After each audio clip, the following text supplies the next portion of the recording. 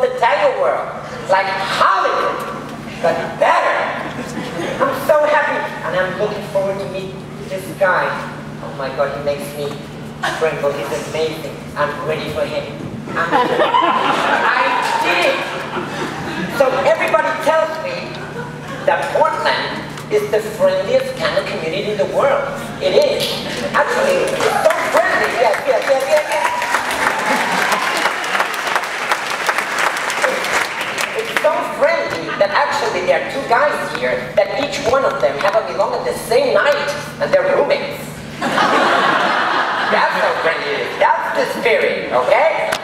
So, I was talking to my non-tango friends, okay? And I was explaining them that a tango festival is a place like this, you know, where people get together to dance and to hang out and to watch performances and, the, you know, when they take lessons and the tango teachers, they're like they feel the tango, okay?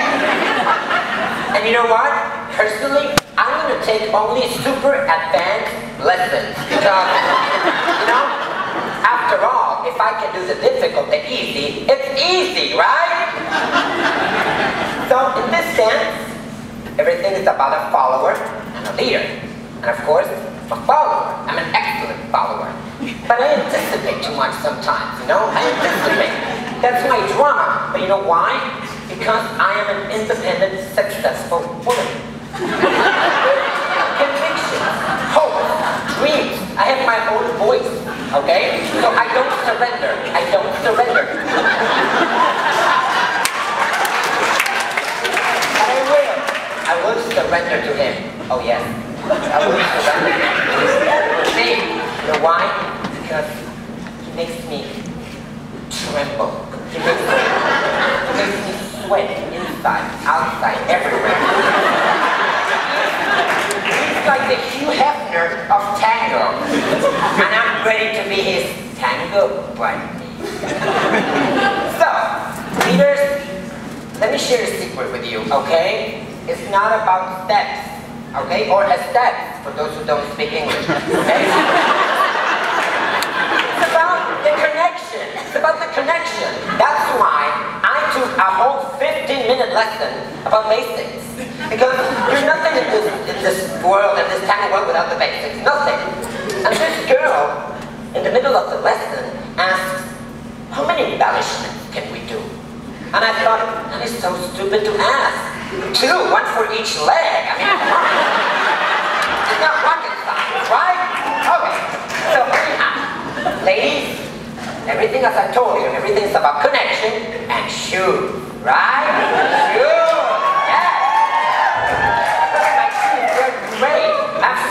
Yes, look at this, Organelle new model. You see?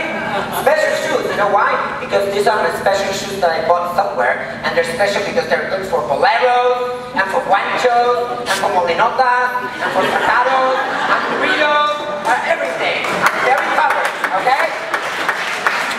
So, maybe you didn't notice me, because I'm very discreet, okay? So, I was here already a week ago, and I was sitting at the Milonga, minding my own business, and I met Alex Krantz.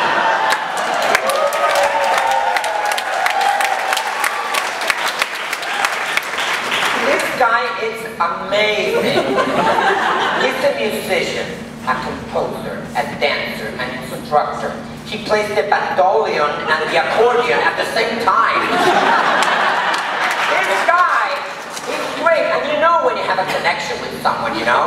So after four hours that we were talking, how I discovered tango, and what do I think about tango, where's tango going, and about the book that I'm gonna write about tango, and what should we do with the cactuses in Mexico that are dying, Alex hears. Hears. He listens. Who, you know, Alex is the best. He's my best friend. He's going to be my mentor. And he has always orchestra typical. He's going to be performing tomorrow. He's amazing. Alex, Alex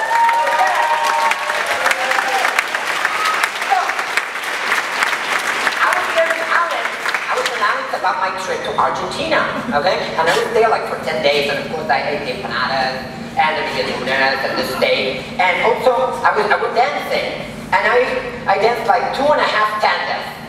The whole trip. I didn't make it to the third one. My taxi dancer, he split the disc. And we had to take him to the hospital. Had to take him to the hospital. In a taxi! that was a bad joke, shit. I'm sorry. So ladies, let me you something. You know what? When I was in Argentina, I took like three lessons, okay? And the first lesson was with this girl that she made me walk back and forth for an hour. I didn't understand that. She made me walk for an hour. And when I was born, I was an early walker. And I was walking, that was for five months. When I was five months, I was already walking. So I didn't understand that lesson. Besides, the room was not even decorated. I took the lesson with this guy with a mustache. Ladies, let me share something with you. Men with mustache, they dance better. They have, they have a better balance. and the third lesson was with this guy that he found me at the mall. And we ended up doing some connection exercises with the maestro. Okay, 45 minutes of embracing with the maestro. Oh yes. Oh. I have to the maestro every 10 minutes. Oh yes. But then it was like every every second maestro, maestro, maestro. And then I forgot because you know what happens in the A stays in the A. I said, and I was in I was a BA, and I'm allowed to say BA because once you're there, you're allowed to say it. It's very well explained at the TGBUETLPE, Tango Basic US Guide for Tango Lovers of the USA planet Earth. and it was written by Clay Nelson like 25 years ago before even tango existed, okay? So, just in case anybody wants to dance with me, anybody, I just want to let you know that I took lessons there. Strictly, I do strictly traditional milonguero, tanguero, or richero tango. and I also do nuevo because it was in the syllabus that I took over there, okay? So, ladies, let me share something with you, okay? I was there on a Tuesday night, which is the place to be in BA. It's called El Beso. It's a milonga, okay? And that's the place to be. And let me give you a little tip. I made a reservation over there like four months before. And when I got there, my, my table was not ready. I didn't understand it. Second, I ordered orange juice and I asked the waitress, is it fresh? And she looked at me like, what are you talking about? So I didn't get that part. But also, when I was sitting there, I was waiting for the cabeceo, okay? And I was looking, and none of the ladies were watching if they were being cabeceoed. And it was like this, like an oscillating fan. I felt, I felt lost. I was lost. I felt like Oliver Kolker trying to play basketball. I mean, the guy is shorter than February. Come on. But after four and a half hours sitting there and like three gallons of orange, this true milonguero cabeceoed me, and I thought, this is my chance to practice my bolero. but then it, it, it, no, the place was closing, and the guy was telling me, get out of here, get out of here. So anyhow, we ended up, I, I ended up having breakfast with a bunch of milongueros over because that's the way to finish a milonga. Oh, you have breakfast, or you go to sleep, or you have sex, or you go directly to your computer to write in your blog about the freaking DJ. So anyhow, I was there, and the, and the guy at the table looked at me, and he said, Margot, remember, tango is a sad feeling that we dance.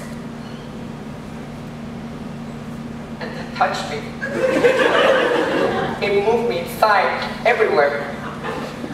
It made sense. But it's so addictive. I find myself doing steps at the supermarket, with the dentist, at the dentist, someone else's dentist. I think dentists are great dancers. They're all in the wrist. And I'm waiting for him. Oh my God, I'm waiting for this guy that I'm gonna dance. I hope he comes. I'm waiting for him. It's amazing. I'm ready to do him. I mean, to do it.